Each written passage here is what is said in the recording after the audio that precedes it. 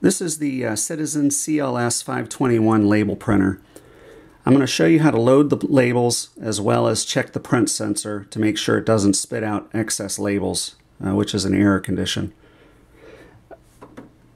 Looking at the printer, we can lift up the lid, we feed the labels in the back with the labels coming up over the top.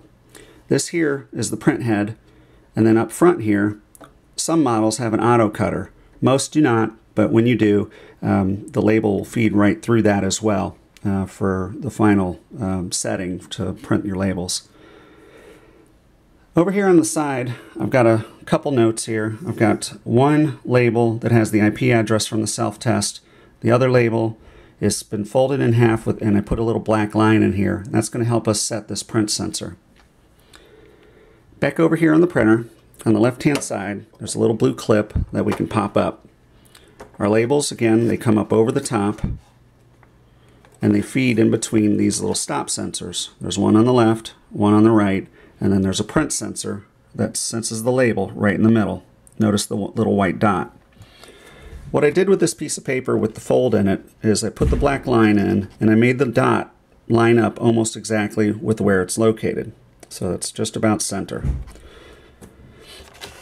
I'm going to go ahead and put this paper over the top, and then normally I would drop this arm down, lock it in place, and then you're good to go. You can put the crease of it right at the end of this bar. So if I wanted to, I can pull it forward, back it up a little bit, bend it just so I see it, and then I click it, and it locks in place, and you're good to go. So normally if I click feed, it'll print a couple, and then you're done.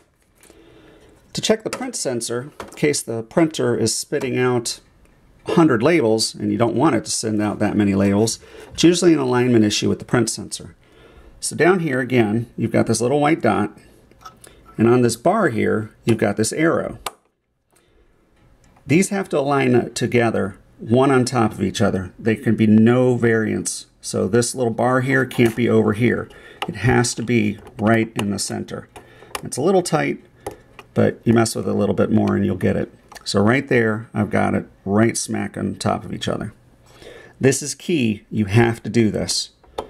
So I'm going to pull this arm back, lock it. I'm going to fold the paper down, put it right over the edge, bring the bar on top, keep the labels inside the stop sensors on either side, just put it in place, lock it, close the lid. And again, if I had an auto cutter, I would feed this through that auto cutter too. It's just a little hole, you stick it right through and it's fine. And at this point, I can do a self-test to see how it prints. There we go. So it did a paper sense, and then it printed what I needed, my information for the IP address up at the top. that's it. You're good to go. Ready to use it and take that IP address to the QB tag print tool and print your labels.